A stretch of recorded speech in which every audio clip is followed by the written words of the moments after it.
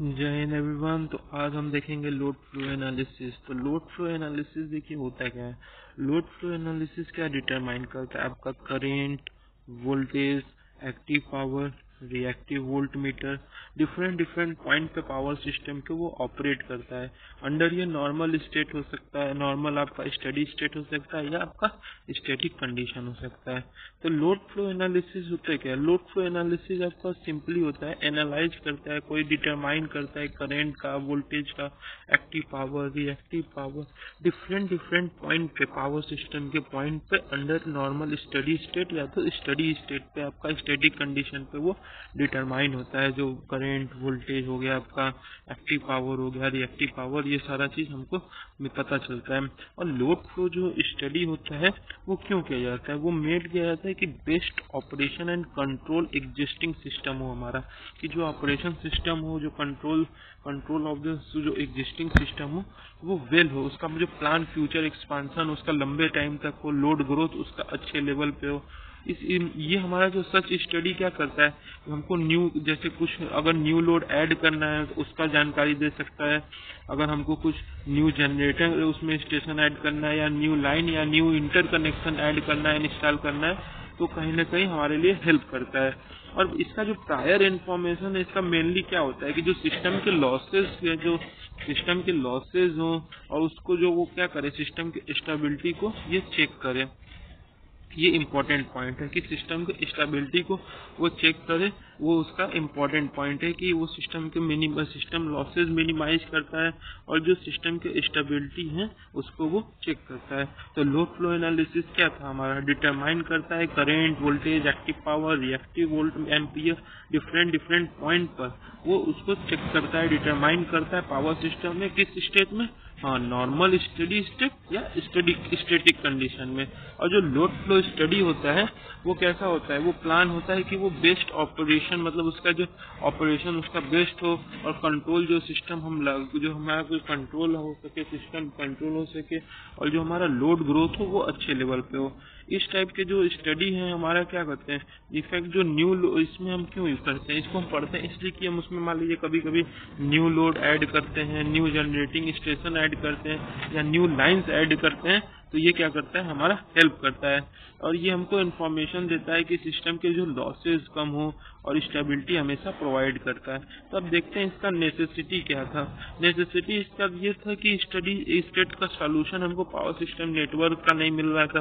तो ये study state का सोल्यूशन देता है। और ये क्या देता है हमारा? इन्फॉर्मेशन अबाउट जैसा कि आप जानते हैं voltage power active power active power और डेल्टा और ये क्या करता है? ये करता है हमारा monitor the current and analysing the effective plans for future yes ये करेंट स्टेट को एनालाइज करता है और बताता है कि इफ़ेक्टिव उसका प्लान क्या होगा फ्यूचर में ऐसा क्या मतलब प्लान एग्जिस्टिंग सिस्टम में रहेगा, नहीं रहेगा, ये सारा कॉन्सेप्ट हमें बताता है नेसेसिटी में। और उसके बाद देखते हैं बस क्लासिफिकेशन इसके बस क्लासिफिकेशन क्या होते हैं? लोड बस जो हमारा पहला है, हमारा लोड बस या पीक्यू बस लोड बस कुछ नहीं है, उसमें क्या होता है? हमारा जो टर्मिनल ऑफ़ द ट्रांसफार्मर होते हैं, जिसमें हमारा एक्टिव पावर और रिएक्टिव पावर क्या होते हैं? स्पेसिफाइड होते हैं। एक्टिव पावर और रिएक्टिव पावर हमारा स्पेसिफाइड होते हैं और voltage magnitude and load angle हमारा इसमें स्पेसिफाइड नहीं होते हैं। ये आपको लोड पी क्यू बस का आपको फार्मूला याद करना फार्मूला या डेफिनेशन आपको लर्न करना होगा। फिर उसके बाद क्या है? जनरेटर बस जनरेटर बस क्या होता है आपका? जनरेटर बस आपका कुछ नहीं है, बस क्या है आपका? उसका जो टर्मिनल ऑफ़ जनरेटर होगा, जो टर्मिनल ऑफ़ जनरेटर होगा, जिसमें हमारा पी और वी दोनों स्पेसिफाइड होगा। क्यू एंड एंगल जो डेल्टा है वो स्पेसिफाइड नहीं होगा। केवल पी एंड वी हमारा क्या होगा? उसमें स्पेसिफाइड होगा। तो उसे हम बोलेंगे पीवी बस।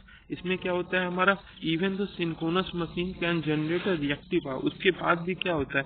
अगर सिंकोनस मशीन में क्या होता है? हमारा जनरेट हो जाता है एक्टिव पावर तो वो क्या होता है? हमारा डिपेंड करता है लोडिंग कंडीशन पे कि कितना वो जनरेटेड डिपेंड कर रहा है उसके लोडिंग कंडीशन पे।